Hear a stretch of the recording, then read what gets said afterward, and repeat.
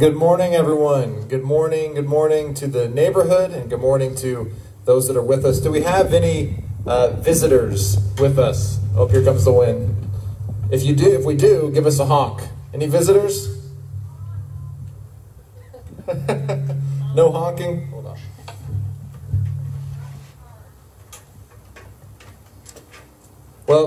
Begin here, I just want to give us a couple of announcements. If you, if you don't know me, my name is Pastor Luke, and I just am so happy that you are here with us this morning, and we thank God for the clouds a little bit today. But just kind of an update on where we are going with uh, this service and with our reopening plans. Uh, we are planning on to continue to do the drive-in church and to really lean into this model for the time during the summer. Um, so we're going to be doing this through June and July. And yes, we know that it will get hot, most likely, like it has been. So we are hoping to do to get a canopy for us up here. But we also encourage you, if you can, it's particularly on hot days, um, to have your car running with your air conditioning if you can, or to find shade. Get a bring a lawn chair, bring lots of water, um, just in case things do get too hot. We don't want to have anyone get into any kind of trouble. Once again, we also are on the radio. If you are in the distance on 97.1. We're hoping to make that a better and better experience. But so service in the building will probably not be happening until the beginning of August, August 4th. And then, but the church officially will be open to the public on June 8th. But that means that we will be having some uh, guidelines as to what it means to do things in the church and how to interact in the church. That has been sent out in our newsletter. Uh, just be sure to wear a mask, to wash up after yourselves. All of the tables in the fellowship hall and the bathrooms are, are continuously uh, being cleaned after uses. Um, there are little cards actually in there on the tables. So if you come to prayer meeting, which we do encourage you to come to on Wednesdays at noon, uh, we have done every precaution to keep you safe. So we do encourage you to come to prayer meeting.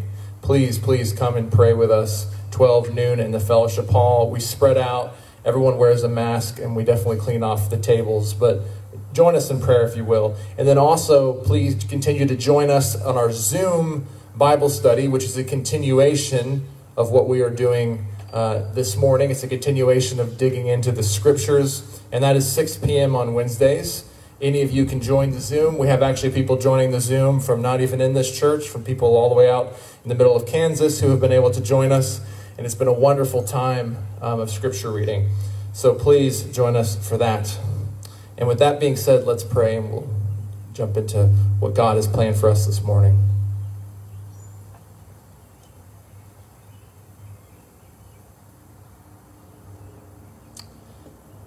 Heavenly Father, we ask for your Holy Spirit to be with us, to be all around us and Lord God, we ask for your will to be done.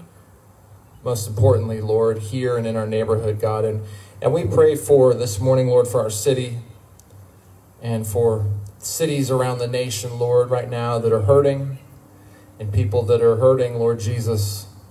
We do ask for your justice to roll down like a river, Lord God, but we pray for peace, Lord Jesus. We pray for peace on the hearts and minds, Lord, of your people. And Lord, we pray for leaders to rise up, God, who speak your words, your true words, Lord God. And we ask for safety, Lord Jesus, for all who are in harm's way right now, Lord. And we pray that you would work on our hearts, God, today, and help us to see your love and your love for one another that is because of you and the unity that we should have in the Spirit. And Lord Jesus, how your kingdom is an earthly global kingdom, God. You've opened up paradise for all who call upon your name. And for that, we love you and praise you. We give you all the glory. In Jesus' name we pray. Amen. Our call to worship, worship this morning is from Acts 2 1 through 4. When the day of Pentecost came, they were all together in one place. Suddenly, a sound like the blowing of a violent wind came from heaven and filled the whole house where they were sitting. They saw what seemed to be tongues of fire that separated and came to rest on each of them. All of them were filled with the Holy Spirit and began to speak in other tongues as the Spirit enabled them. Today we look at question seven from the New City Catechism as we profess what we believe. What does the law of God require? Personal, perfect, and perpetual obedience, that we love God with all our heart, soul, mind, and strength, and love our neighbor as ourselves. What God forbids should never be done and what God commands should always be done. We're going to sing A Mighty Fortress is Our God, and I think it's a wonderful song for us to sing this morning and to be reminded that, yes, no matter what's going on in the world, no matter what the Prince of Darkness, Grim, has to throw at us, we can hide in the fortress of Christ, and we know that there is a firm foundation there. So I encourage you to just sing this song boldly and loudly. Let's sing.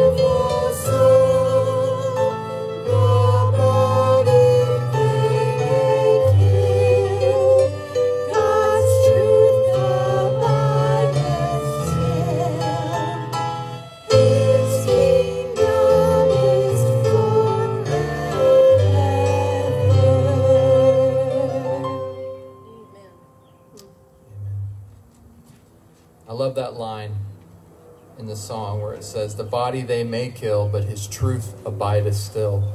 God's truth does abide, and it continues to abide. And we do celebrate this day, Pentecost Sunday. And just as the sun has broke forth for us, the disciples saw on that day when the tongues of fire reached out to them and changed their hearts forevermore. And they were able to go out into the streets and it all clicked and everything Jesus had prepared for them and the resurrection that had, had just they had seen.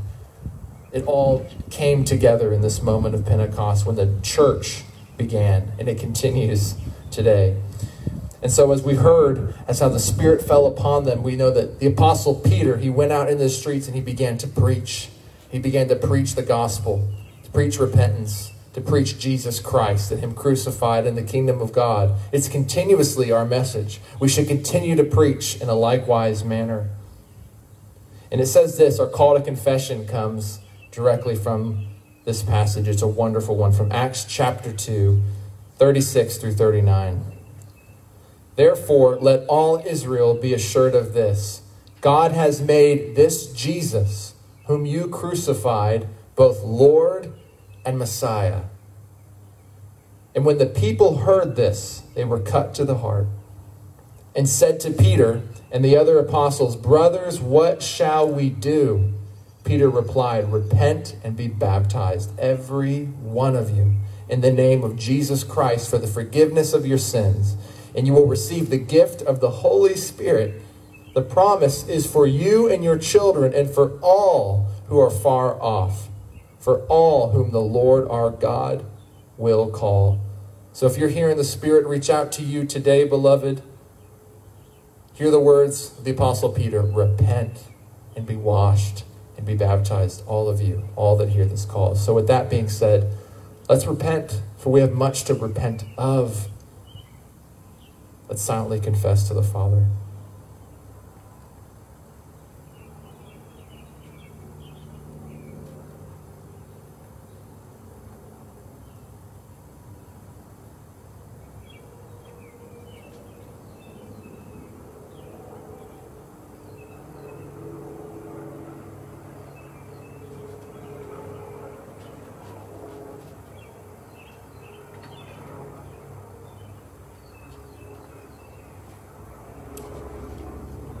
Lord God, we thank you for the wellspring of life that you poured out on us in the Holy Spirit.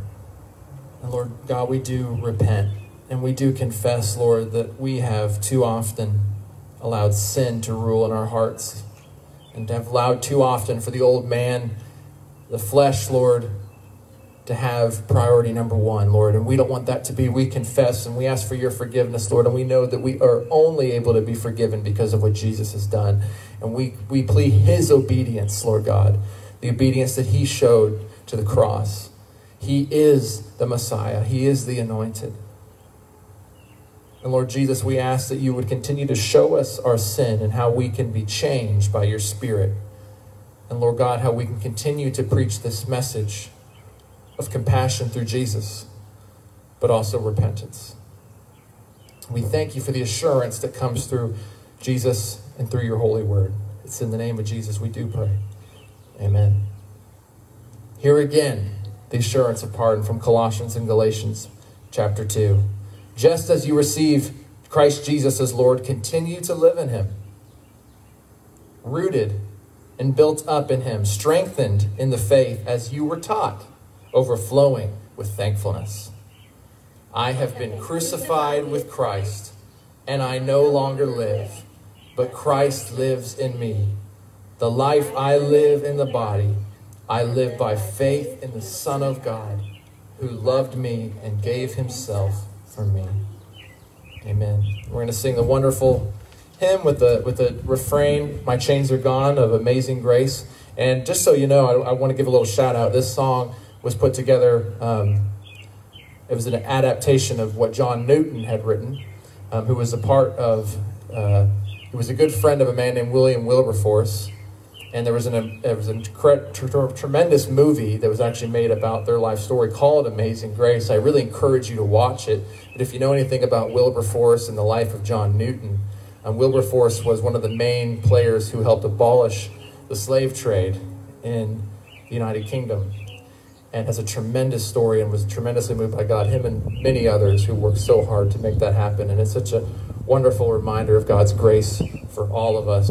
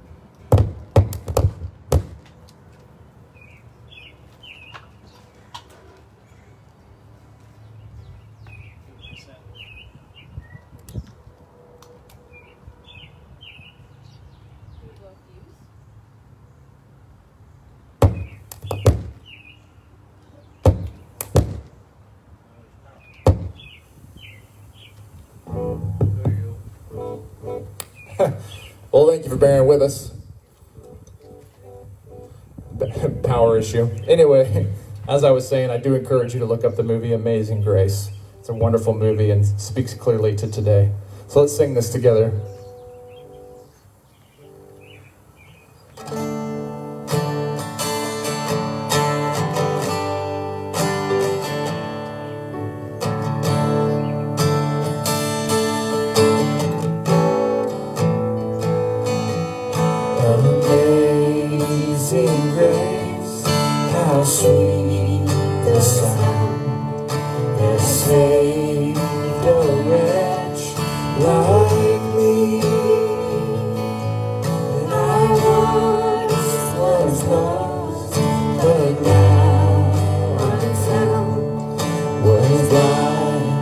the night.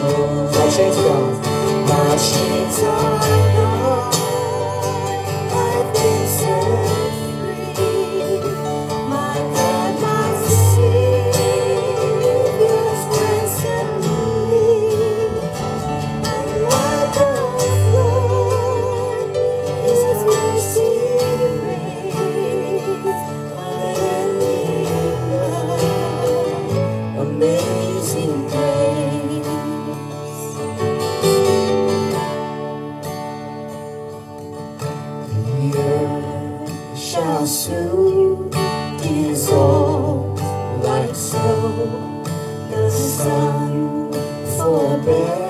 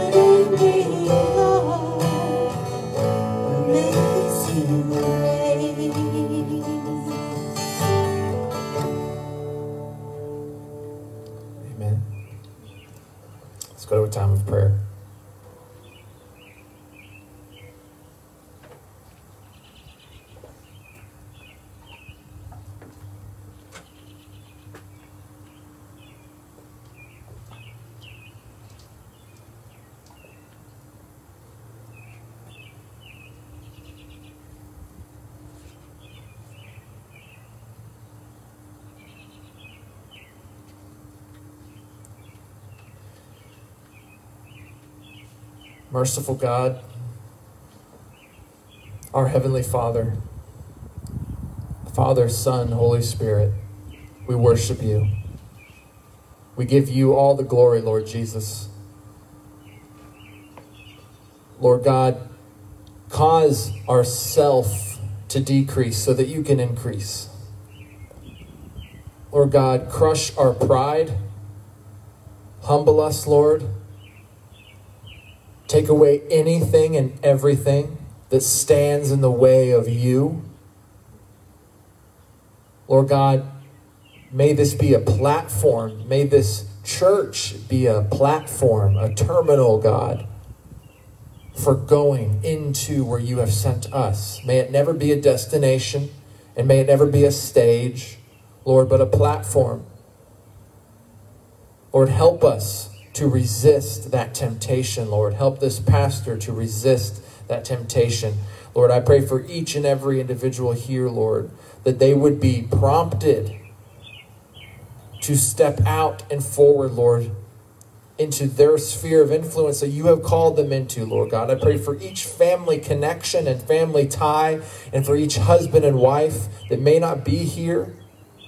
Lord God, that you would continue to use them, Lord, first and foremost to reach their families for who you are and for the gospel, Lord God. I pray that you would show each person here the one step that they can take, Lord, to reach the lost person most close to them, Lord, that you love and that you are calling. Lord, make each person here a mouthpiece for you. Lord God, we do pray, just like what happened so many years ago at Pentecost, Lord, that you would continue to fall fresh on us with tongues of fire, Lord. But not just us, but our country. Lord Jesus, we know that you are saying, and you have been saying, and you say in your scripture, if we will humble ourselves and repent and look to you, Lord, you will renew our lands, you will renew our hearts. And Lord Jesus, it is for that that we do pray for our country, Lord. You see it, Lord. You know it's on our minds. You know that is something we are anxious about. And Lord God, we do pray for those who have felt disenfranchised, Lord, who have been tread upon for many years, Lord God. And we do pray for justice. And Father, we ask that you would continue to mold us into Christ likeness, Lord Father, that we can address, Lord, what you are calling us to address, and we can seek justice through the Christ way, Father. But we do pray for the leaders, Lord, that are having to deal with tough situations. Lord God, would your spirit be upon them and they would speak truth. Lord God, would you be with all of our those, Lord, who may be protesting, Lord, make them give them a spirit of peace. Lord God, may they may they work in peaceful, Christ-like ways, Lord Jesus. Lord, we pray for our first responders, Lord, who have to go into harm's way. We do pray for our, our law enforcement, Lord God, that you would protect them and their families, and that they would have a spirit of peace. And Lord God, that they would seek true justice. And Lord God, for Lord, the military that is in harm's way, Lord, for all the workers, in their businesses, Lord God. We do pray for those people, God, that you have put in there, Lord. Would you show us how we can respond to it, Lord God? Would you rise up the church to respond to the situation, Lord? We know that you are always calling us to the situation to bring Jesus to the stage, the platform.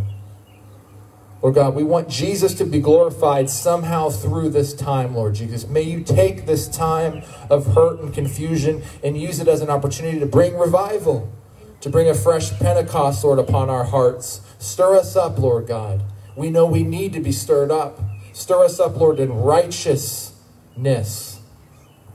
Lord God, we want to be stirred to the righteous things of Christ, Lord. And we know that you are working, and we therefore repent and say, God, come in whatever way you want, in whatever way you seem is good, Lord. By whatever leadership you seem is good, Lord, we say, do it but Lord, strengthen our hands. And Lord God, we do pray for those amongst our congregation and our community who are hurting and are struggling, Lord, with physical ailments, Father, who are depressed, who are anxious, Lord. We, we ask for your peace to be upon them. In the name of Jesus Christ, Lord, take away depression, take away anxiety, take away fear. In the name of Jesus. And Lord, we cast out the devil who wants to use this moment, Lord, for his glory. Lord, we stand against him. Lord Jesus, we ask that you would cast the devil out of our communities. That you would cast evil, Lord, out of each city. In the name of Jesus. And Lord God, for those that are suffering physically, Lord, we ask that you would show your will through them and that you would heal, Father, anyone who is suffering with physical pain. And we know there are many. And Lord, we ask for those who are suffering with cancer in our church, Lord, that you would heal them in the name of Jesus if it be your will. That you would take away their pain, Lord. And Lord, even if not, even if there is not healing, Lord, we ask that your glory would be revealed through the suffering. For we know that is the way you have done everything, Lord. It is through our sufferings that you will reveal yourself completely. And Lord Jesus, we ask that today you would speak to us by your word, that we would not stay the same people, but would leave as a different people, more and more like Jesus. We want to know you. We want to know you rightly, for it changes everything. We thank you for the prayer you gave us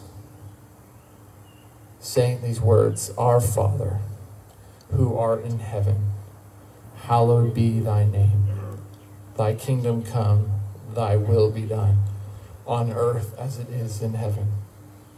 Give us today our daily bread, and forgive us our sins as we forgive those who sin against us.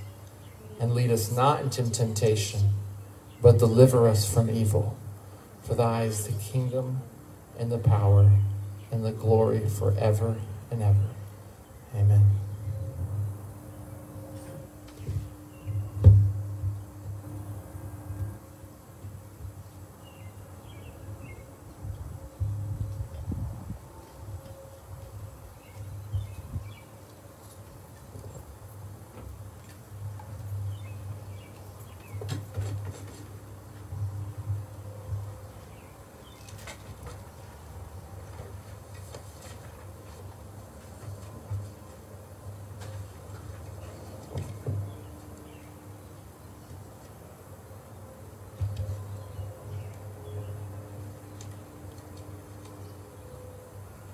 Well, beloved,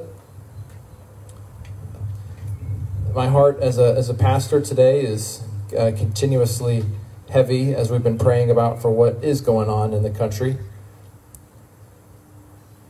And I do ask you to continue to pray, but this is an important time for us to have um, good conversations with one another and to be real with one another and to seek out truth where it may be found first and foremost as it is found in the scripture, but I do think this is a time for us to lament, but to also look forward to the hope we have in Jesus. But with any time that there is a struggle going on and there's chaos, we as Christians have hope.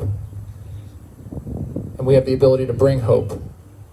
And I ask you to not I just encourage you from a pastoral perspective to not get completely weighed down by maybe what the world shows you on the TV screen or in the newspaper, but to first go to your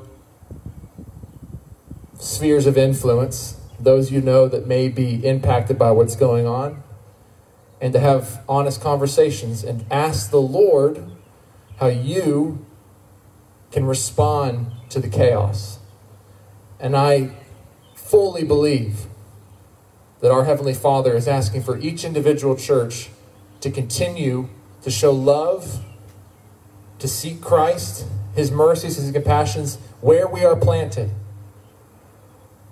and to pray for and continues to support those around the nation and other churches that are that are struggling. But it's important that we continue to be the bridge. The church is the ultimate bridge in every neighborhood. And so we need to continue to just reach the lost and not not be for, not forget that what we wage against is our spiritual principalities and the devil himself that wants to divide us and to cause us harm. But beloved, we need to be looking out for each and every person that the Lord has brought into our flock and therefore care about what is hurting them or is causing them pain. Because it's in the nature of Jesus to go after and to seek out the most hurt, lost, lonely, desperate, lost causes. And I think that's part of the beauty of what today's passage is about from Mark chapter 5. So today we are continuing in Mark. This is our first passage from the, uh, the fifth chapter of Mark, verses 1 through 20. So as you are turning there, I will read for us. So Mark chapter 5, verses 1 through 20. And this is the place last time we talked about Jesus crossed over the lake, the Sea of Galilee, in the storm. And this is where Jesus was taking them. This is where he wanted to go right away. All right, the word of the Lord. If you wouldn't mind, raise your hand for the God's word. They went across the lake to the region of the Gerasenes. When Jesus got out of the boat, a man with an impure spirit came from the tombs to meet him. This man lived in the tombs, and no one could bind him any more, not even with a chain. For he had often been chained hand and foot. But he tore the chains apart and broke the irons on his feet. No one was strong enough to subdue him. Night and day, among the tombs and in the hills, he would cry out and cut himself with stones. When he saw Jesus from a distance, he ran and fell on his knees and worshiped. He shouted at the top of his voice, What do you want from me, Jesus, Son of the Most High God? In God's name, do not torture me. For Jesus had said to him, Come out of this man, you impure spirit. Then Jesus asked him, What is your name? My name is Legion, he replied, for we are many. And he begged Jesus again and again not to send him out of the area into the abyss. A large herd of pigs was feeding on the nearby hillside. The demons begged Jesus, Send us among the pigs. Allow us to go into them. Jesus gave them permission, and the impure spirits came out and went into the pigs. The herd, about 2,000 in number, rushed down the steep bank into the lake and were drowned. Those tending the pigs ran off and reported this in the town and countryside, and the people went out to see what had happened. When they came to Jesus, they saw the man who had been possessed by the legion of demons sitting there, dressed in his right mind, and they were afraid. Those who had seen it told the people what had happened to the demon possessed man and told about the pigs as well. Then the people began to plead with Jesus to leave the region. As Jesus was getting into the boat, the man who had been demon possessed begged to go with him. Jesus did not let him, but said, Go home to your own people and tell them how much the Lord has done for you and how he has had mercy on you. So the man went away and began to tell in the Decapolis how much Jesus had done for him. And all the people were amazed. The word of the Lord. This story is very similar to the last passage of Jesus calming the storm. It has similar elements in Mark chapter 4. Once again, we are shown the character and the authority of Jesus Christ. These stories are not about us, okay? These stories are not about us. They are a little bit, but not completely. I don't believe that's the central piece of what they are. And I've heard a lot of sermons, not that they're wrong, but have focused on the us, on how to overcome, or 10 steps on how to overcome spiritual oppression, or something of this nature. Not wrong, but I don't think that's necessarily what is being told to us here. Similar to the last story, it's about Jesus, it's about God. His true character is being revealed. Jesus is allowing events, events that we can write down, stories, dramatic stories at that, to reveal his identity. He lets others do the talking, even demons. The character of Jesus is essential. It's essential for us to understand. We were talking about this in our open table table Bible study. And I was encouraging others, you know, just simply go to Google and type in Bible verses about the character of God. It's so important that we know the character. In the same way, you should know the character of your parent or your friend. Why do you trust? Why do you love them? Well, you know them. You know their love, their mercy, their power, their authority. So they're continuously, disciples are learning about the character of Jesus. And that's something that we need to continue to hold on to. It's our bedrock, it's essential. It's essential for in times of trouble for us to know the character of God, because if God is known, his character is seen as this God who's a mean kid on the anthill, right? Or who isn't paying attention, or who doesn't care, or who is just sleeping, then we're going to lose hope. If he's a distant God who, who doesn't understand our pain, who doesn't understand our suffering, then we're going to lose hope. But we know that that's not true. He's a God who is acquainted with sufferings. He's a God who is acquainted with friendships, with love, with food and drink. Last week we talked about specifically the holiness of Jesus and the power of Jesus. There are many lessons that can be learned from this passage, but today I want to zoom in on the compassion of Jesus.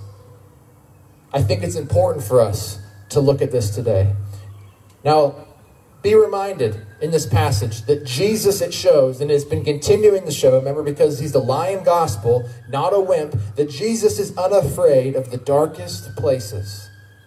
He's unafraid of the stormy seas. He's unafraid of dark tombs. He's unafraid of a legion of demons. He's unafraid of the greatest of sinners. No one intimidates Jesus. Jesus is unafraid to redeem the very least of these. Jesus sought out, possibly in this passage, the most unclean, hopeless, lost cause on the planet. And I do mean that. Beloved, it is the character of Jesus to save lost causes. Hear that again. It is in the character of Jesus to go after and to save what the world would call a lost cause. The business of Jesus, I think, given to us from this passage is three things. It is number one, to save and call those who are lost. Number two, to make himself known among the Gentiles, among the nations. And number three, to send back the redeemed with a testimony. So it's one, to save and call those who are lost, make himself known among the nations, and to send us back with a testimony. So, number one, to save and call the lost. How does this passage show that Jesus is saving, call the lost? So, I want to give you a couple of scriptures to help us to see that this is true. This isn't just Luke talking, but this is, in fact, the mission of Jesus. Luke 19:10 says, "The Son of Man came to seek and save the lost." 1 Timothy, the Apostle Paul speaking, chapter 1, verse 15 says, This saying is sure and worthy of full acceptance that Jesus Christ came into the world to save sinners. John 3:16, the wonderful verse many of us know, for God so loved the world he gave his only begotten son that whoever believes in him should not perish but have eternal life. And then Mark 10 verse 45, the son of man came not to be served but to serve and to give his life as a ransom for many. This man is example number 1. This man who is possessed by the demons is example number one in many unmistakable ways of a lost person. Jesus could not have made his ministry any clearer. One of the worst things to be as a Jew, and remember, Jesus a Jew, Jewish context, disciples as Jews, is to be unclean. And there are many ways one can be unclean. The man mentioned in Mark 5 was lost to the Gentiles, but was also quite the sight for the Jews. First of all, they were in a Gentile region now, which was bizarre, particularly for the disciples. But the man here is unclean just from a Jewish perspective in four profound ways. Number one, he's possessed by a legion of demons. Now help me understand, you know, a legion, a Roman legion, could be as many as 6,000 people. And we know that it can be less than that. It can be a grouping, a large grouping. We know at least was 2,000, but they cannot, you know, by the way that they went into the pigs, 2,000 pigs. But that's a whole lot of demons. That's a powerful way to be unclean. Number two reason this man was unclean, he lived in the tombs among dead things. He was a Gentile, number three reason. And number four reason, he lived next to pigs. This man was as unclean as it gets in the most profound ways one can be unclean. And that's not to say what we know exactly what his charges were as to why he was being chained by the Gentiles. You understand? This man most likely was a criminal. He most likely had done some incredibly nasty things. I mean, you can only imagine when someone is possessed by that much demonic influence what they're capable of. But even the Gentiles in the Decapolis, the ten cities, were afraid of this man and found him to be unworthy to be around and a person who deserves to be chained up in the graveyard. And we know a lot about that at Greek time. A lot of things were okay. So for this man to be chained up, he had probably some serious issue. And, and it's hard for us because we are so detached from this story. But this man was hated hated. And, and we need to think about, you know, there's, there's people right now in the world, even what's going on with the situation in Minneapolis, where you look at uh, what happened with this officer who killed this young man. There's obviously, and rightly so, some incredible anger towards that person who did that. And I think you need to see in some ways, and, and, and I'll, I'll be careful here, that that's kind of the way this man was viewed a person worthy of being chained to the tombs and forgotten, and if possible, killed. He was that messed up. He was the lost of the lost. The disciples, of course, would have been horrified by this going on. They would have been confused, most likely, at Jesus taking them there. Yet the teaching continued. The demon possessed man, he had a miserable life, not only to be a cast out religious, but also by the pagans. He was physically tortured as well as mentally. He cut himself and lived a life of continual screaming and rage. Do any of you know someone like this?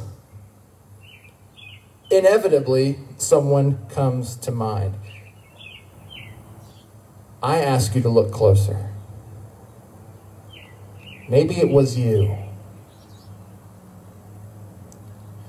Perhaps it is you. Beloved, in, in, a, in a strong way, this man's life is a picture of sin. It's a picture of what sin does to all of us. Sin chains us to the tombs. It's easy to say, oh my, look at that guy. At least I'm not like him. What a mess. And it's true, certain sin have different consequences, of course, but we cannot and should not separate where we were before Jesus saved us, before Jesus plucked us out of the darkest of pits. And we should not and cannot separate ourselves from the influence of unrepentant sin in our lives. It's destructive.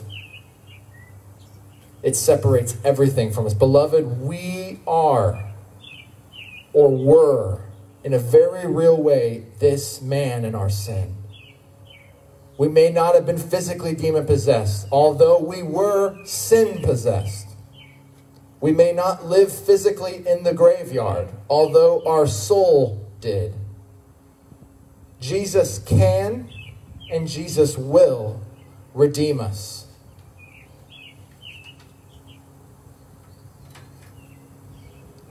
Jesus can and will redeem us from this state. Jesus traveled over the stormy night to seek this man out. One sinner, beloved, is vastly important to God. And Jesus sought after the most miserable of lost causes to make a point that his redemption has no bounds. It goes to the lowest level of hell. There are none too far from the reach of Jesus to redeem. Listen to this truth, even from King David himself in Psalm chapter 40, when he said, I waited patiently for the Lord. He turned to me, he heard my cry, he lifted me out of the slimy pit, out of the mud and the muck and the mire, and he set my feet on a rock and gave me a firm place to stand. He put a new song in my mouth, a hymn of praise to our God. Many will see and fear the Lord and put their trust in him. You can imagine, just as it was for David, who was saved and protected by the Lord, even David, who was who sinned in a profound, in a terrible way. David was a murderer, and the Lord lifted him out of the mud. You can imagine this man who was demon possessed saying the same things. He lifted me out of the slimy pit, out of the muck and the mire and the mud. Beloved, you have to see that if you have placed your faith in Jesus, He has done the same for you. We mustn't distance ourselves from the severity of our sins. Number two, through this passage, Jesus is making Himself known among the Gentiles. He's making Himself known among the nations. Romans chapter 15 said, Christ became a servant to the circumcised, that is the Jews, to show God's truthfulness, His promise in order to confirm the promises given to the patriarchs like Abraham, and in order that the Gentiles, that is everyone who is not Jewish, might glorify God for his mercy, first to the Jew, then to the Gentile. When the nation of Israel was established, and before the nation of Israel was established, humanity continued to rebel against God we see the creation, we see Adam and Eve and their fall. And the world goes into this chaotic state. And the things that were good became bad. The people of God became scattered all across the all across the globe after the Tower of Babel, an attempt from God God scattered the people because the people were attempting to be like God, to reach to God. Corruption was all about the face of the earth, as it says in Genesis 6. And many people groups had come under the influence of lesser gods, as it says in Deuteronomy 32 88 through 1. They became under the influence of demonic gods that we see, people like the Baals, all throughout the scriptures. God had disinherited his people, as it says in Deuteronomy 32. Yahweh, therefore, then begins to take his chosen people. As the people are scattered, as this as after the Tower of Babel and, and, and sin is corrupt, the people are scattered across the globe, and, Jesus, and the Lord, Lord God, Yahweh says, I will there set apart a people of my own this would become the people of Israel. And through this people, I will redeem once again the nations. He chose Abraham to be that person who would lead this. And he made a covenant promise with him and with the people of Israel that they would be the means of salvation for the lost. The people would be regrouped, they would be reclaimed by the great shepherd Jesus. There will be a Messiah who will crush the head of the snake and he will regroup his people. And to show that this has been God's purpose from generations past, Paul in Romans 15, looking back on the ministry of Jesus, quotes 2 Samuel, Deuteronomy, Psalms, and Isaiah. God's mission is to be glorified among all the nations. First, Paul quotes 2 Samuel says, I will praise you among the nations and sing to your name. Then he quotes Deuteronomy 32, 43 and says, Rejoice, O nations, with his people. Then Psalm 117, 1, Praise the Lord, all nations. Let all the people praise him. And finally, he quotes Isaiah 11, verse 10 The root of Jesse shall come, and he who will rises to rule the nations. In him shall the nations hope. So, even from the prophets of old, from the original promise, it was not just for the Jews, but through the Jews would be the redemptive principle to the nations. And Jesus is showing quite clearly here in this passage to this lost man, this lost Gentile man, that yes, Jesus has come. He's the great shepherd, and he will regroup that which was lost to him from the beginning of time.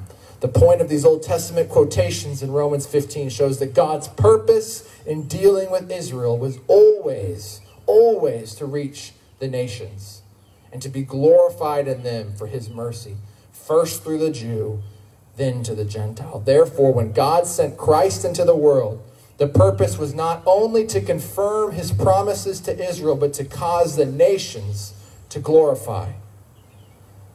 Jesus puts this truth on full display with not a decent, pretty good Gentile, which he could have done, and maybe some of the Jews would have gone, okay, well, maybe he can join the club. He seems like a pretty good guy. No, he goes to the furthest from him, this demon possessed man.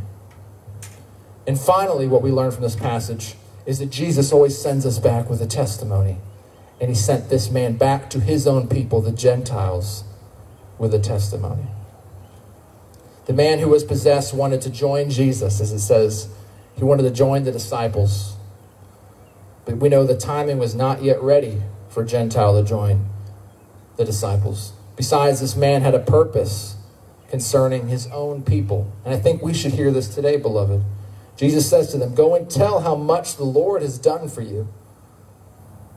Through his testimony, the people were amazed and they were also afraid, which is always going to be the case with your testimony, beloved. You're either going to amaze people and they will glorify God, or they're going to be really offended and you're going to inconvenience them and they're going to kick you out of town anytime we speak the truth of Jesus. Because why? The truth of Jesus and what he has to do for our life is an absolute.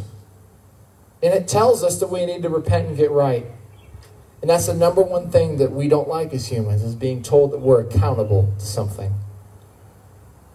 And accountability has very much been lost in religion. And there's a lot of religions out there that you can join and make you feel good that have zero accountability. And that's not the way it is with Christianity.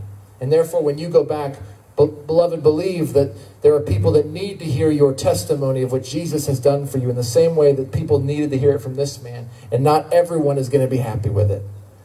And some people are going to be more upset about the loss of pigs than the transformation of your life.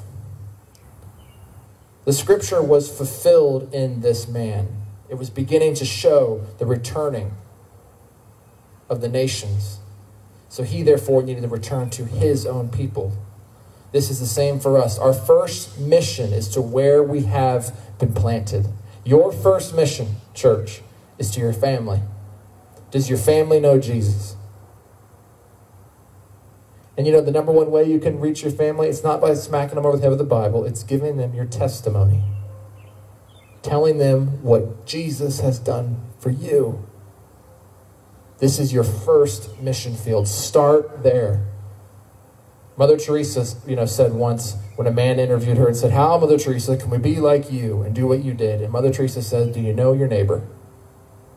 Beloved, if each and every one of us reached our kids, our husband, our wife, our mom, our dad, and then our neighbor, oh man, it's over. You understand? This is what Jesus is calling us to do. And is what he called for this man to do. Reach your neighbor. Don't come with me and go into a context you don't understand, a language you don't speak. Go to the one you know, the one you understand. And if God calls you out into a different place, to a different culture, different language, let God tell you, let him be direct. For example, some of you may know the story of St. Patrick of Ireland. He was a fifth, he was a fifth century a man born in what is present day England. He was captured by Irish slave traders. He became a slave in Ireland, lived there for many years. Patrick was given the opportunity to escape from Ireland. He left, went home to England, was a Christian, became a stronger Christian, but he was moved by the Holy Spirit to go back to the people he grew up with, essentially. Ireland and his slave captors had become more of his family than was in England. But he was told to go back to the people that enslaved him, to preach to his once captors. Amazing. Not, who could do that? Through his testimony and ministry of going back and testimony of what God had done in his life, the whole island of Ireland would come under Christ's rule. There was a massive revival that happened in that time because, really, of what God had done in the testimony of St. Patrick. The same is essentially true for the Apostle Paul only he was the oppressor. Paul was a man under demonic influences until Jesus, just like we see here with this man who was possessed by legion, came into his life and sent him back with a new mission. Paul was a lost cause, beloved, but not to Jesus. It's important to note that God has chosen to reach the world via lost causes. Why? Because of the testimony because the glory that it gives Jesus. You know, when, when God said to Gideon, Gideon, your army's too large. It needs to be 300, not 32,000. Why? Because you might think you did it for the glory of God. The original missionaries were ex lepers, disabled, unclean, zealots, tax collectors, and demon possessed. Who better to testify to those who know and know the power of God and have seen with their own eyes how God has transformed them. It's so dynamic, it's so visible. Who know where people have been. Everyone in that town, in the Decapolis, knew about that guy. The people could not deny, therefore, God's awesome power in the once demon possessed man. They probably said, Is this not the crazy guy? Is that not the guy who was chained up? Is that not the guy who did this and that? Is that the guy who killed so and so? Was he not on the verge of death? What happened? Who is this that healed him? Remember last time in chapter 4, the disciples were forced to ask, Who is this? Well, through our testimonies, beloved, people are forced to ask that question. Who is this? Why? Because as it says in Galatians 2.20, I have no longer lived, but it is Christ who liveth in me. And that is why we stand here and pray, Lord God, may it not be us that is seen, not to us, God, but to your name's sake. May Christ be seen through his what he has done in us, through our testimony, through the transfiguration of who we are, through us being crucified on the cross, through our old self being done away with and then a man sitting here in his right mind, fully clothed, the people can only marvel and say, Who is this? Well, I'll tell you who it is, beloved. It's Jesus. In a real way. When you've been saved and placed your faith on him and been healed by him, people see Jesus. And as we know, these things were done so that others could believe, as John chapter 20, verse 31 says, these things, all these stories were written down so that you may believe that Jesus is the Son of God.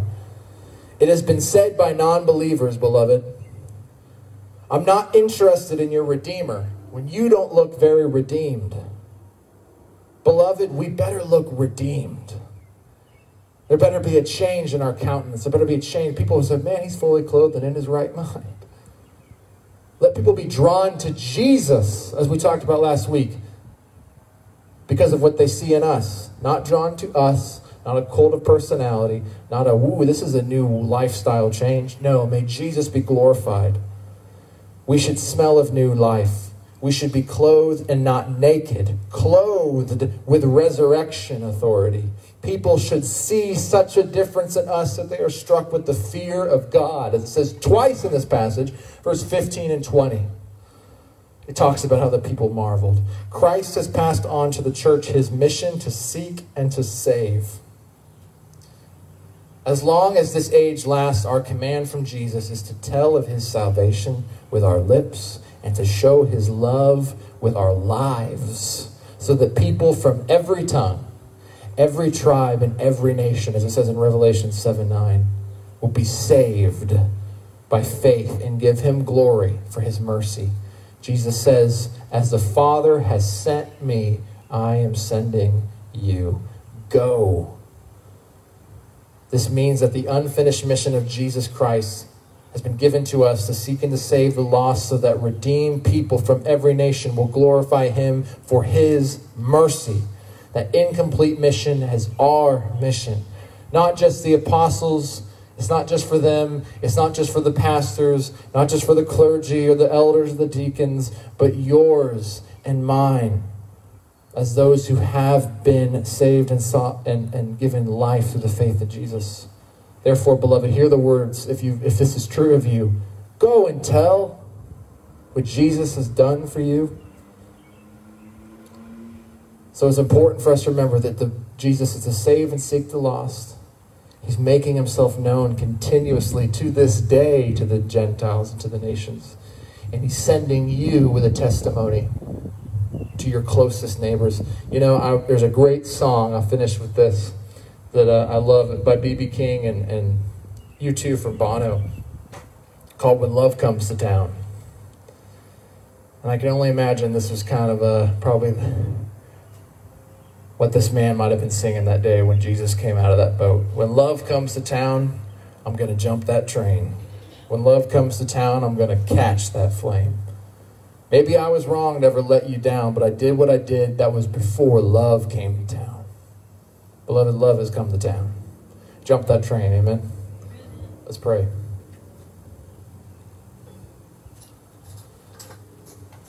We thank you, Father, for the truth in your scripture the living truth of Jesus Christ. And Lord God, we do pray that these words and this passage of Scripture, Lord, from Mark would take root. The seed would be in our hearts, Lord, and it would make fruit, Lord God. I pray that you would inspire each person here today to go back to their home and to their neighborhood and to tell about what you have done so mercifully for us. It's in your precious name we pray. Amen.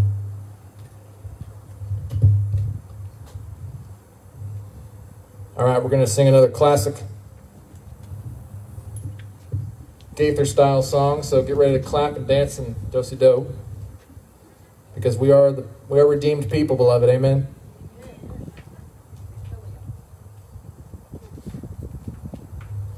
Let's not be somber.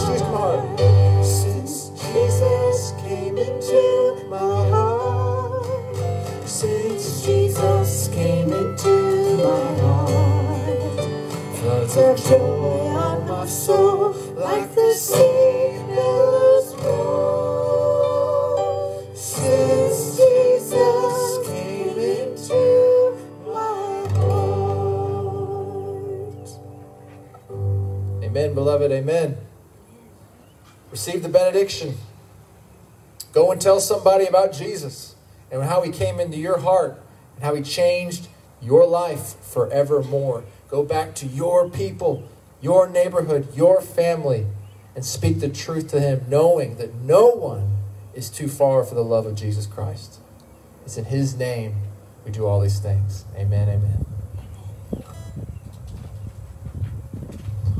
Oh, and I do want to remind everybody next week we will be taking communion.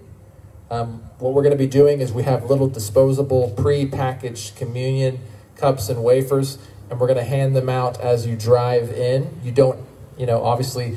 It's a sacrament that we want to continue to remind you to take in faith only, but also if you are still concerned about anything, we don't want to make you feel pressured about it, but we will have communion. Thank God. It's such a wonderful thing. I look forward to drinking of that cup and eating of that bread with you. God bless.